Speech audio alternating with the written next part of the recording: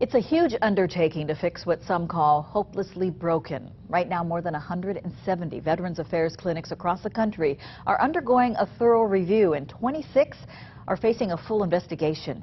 In a story you'll only see on KITV, our very own Lara Yamada sat down with a man here charged with mending the system.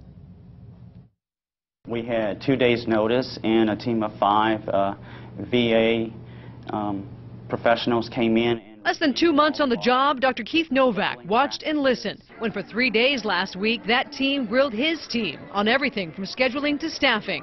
To be sure that they were doing it correctly and that there was no gaming of the system. They validated that everything was being done the way it should be and that we, didn't, we weren't hiding anything here.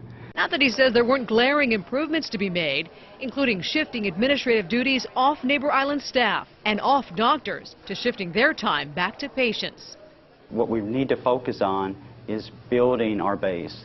Recruitment and retention, a major problem. Novak says just this month they lost two full-time doctors replaced by temporary fill-ins. He says the VA is working with the University of Hawaii to grow local. For our local, you know, population to, to go into the medical field and, and become physicians and nurses and then stay here to care for their family. They're still coming every day the VA Pacific now services some 24,000 vets from Molokai to the Marshall Islands, growing 5% every year with sign-in kiosks helping to cut back on long lines. How the patient comes in, how they're being treated, um, making sure that they have an appointment um, to reschedule.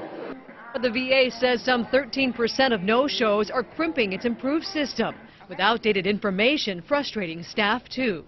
We cannot take them out of our system here if they don't let us know.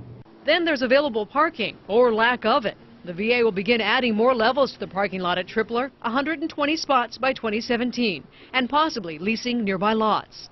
We're trying, and you know we're hoping that we take care of our veterans. One more step to push the VA into a better light. Lara Yamada, KITV4 News. The VA says each veteran is now assigned a patient-aligned care team that's comprised of a doctor, nurse, tech, and other staff.